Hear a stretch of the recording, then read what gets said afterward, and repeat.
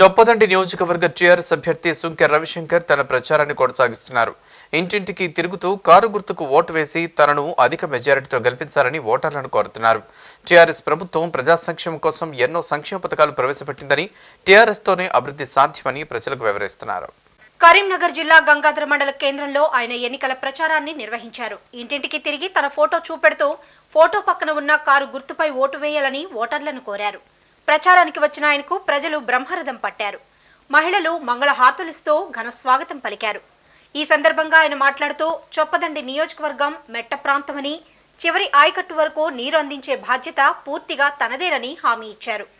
ఇప్పటికే నియోజకవర్గంలోని నూట అరవై ఒక్క గ్రామాల్ని చుట్టివచ్చానని చొప్పదండి నియోజకవర్గంలో నలభై వేల మెజార్టీతో గెలుస్తానని ఆశాభావం వ్యక్తం చేశారు.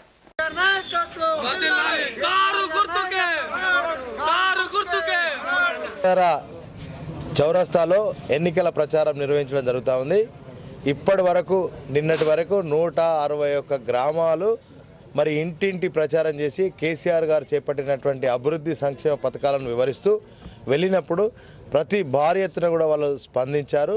మరి బ్రహ్మరథం ప్రజలు బ్రహ్మరథం పడతా ఉన్నారు. కారు గుర్తుకే ఓటేసి మేము కేసీఆర్ గారిని సీఎం చేయాలనే ఆకాంక్షతో రాక రాక చొప్పదండి నియోజకవర్గానికి చాలా సంవత్సరాల తర్వాత ఒక స్థానిక అభ్యర్థికి అవకాశం వచ్చిందని చెప్పి ప్రజలు పెద్ద ఎత్తున మద్దతు ఇస్తూ ఉన్నారు. ఇవాళ ఈ చౌరస్తాలో ప్రతి ఇంటింటికి వెళ్ళి ఈవీఎం చూపిస్తూ కూడా మరి ఈ ప్రజలందరూ పెద్ద ఎత్తున భారీ మెజార్టీతో గెలిపించిన తర్వాత సంక్షేమం కోసం కూడా నేను కృషి చేస్తానని చెప్పి తెలియజేస్తున్నా.